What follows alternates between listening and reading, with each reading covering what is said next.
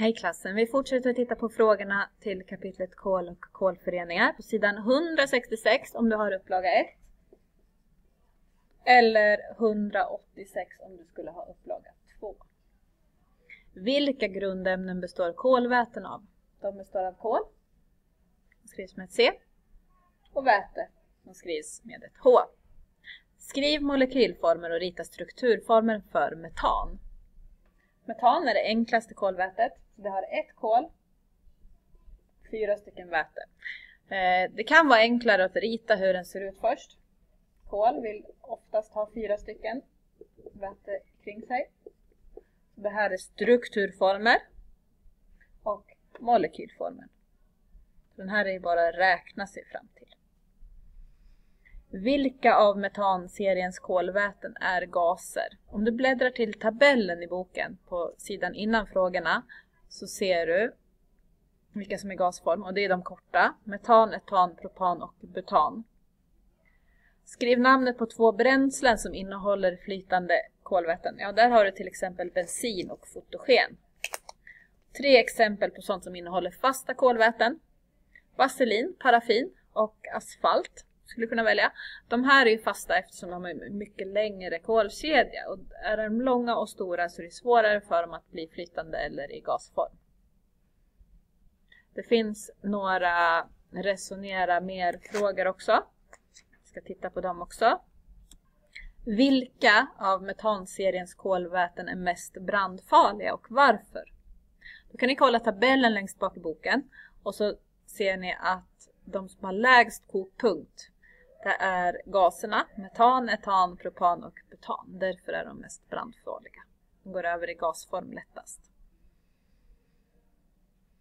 Vilken molekylformen har C-butan?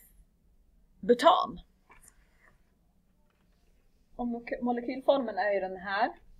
Där man bara skriver hur många kol det är och hur många väte det är. Butan har fyra stycken kol så för att hitta svaret är det faktiskt enklare att rita strukturformen först. Fyll på med väte.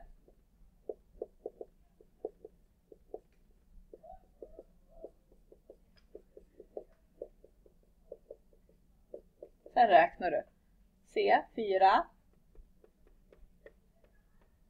H10 Här är butan.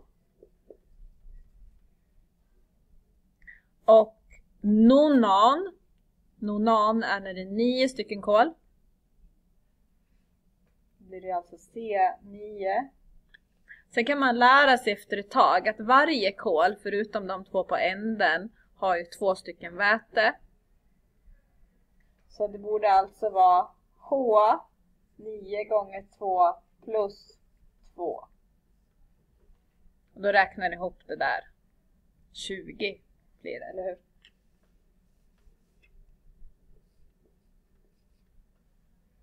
Så det blir lite snabbare sätt, men det är bra om ni ritar dem i början i alla fall.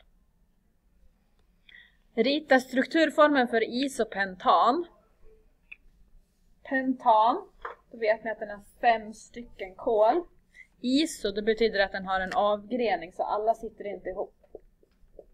Utan en kommer ut så här. Sen fyller man på med väte som vanligt. Så att alla har fyra bindningar.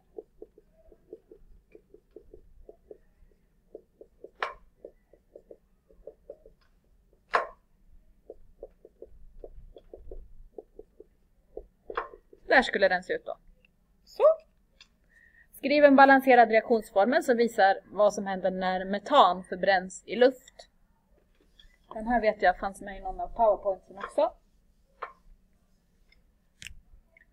CH4 plus förbränning är nästan alltid en reaktion med syre. O2 ger koldioxid och vatten. Nu är det här inte balanserat. Det kan man visa med att göra ett streck över. Sen så räknar man ut det och då kommer ni att komma fram till att det behövs två stycken vattenmolekyler, eller bildas, och det går åt två stycken syre. Nu är den balanserad. Tjopp, då tar man bort det så det bara står en pi. Tack så mycket. Hejdå!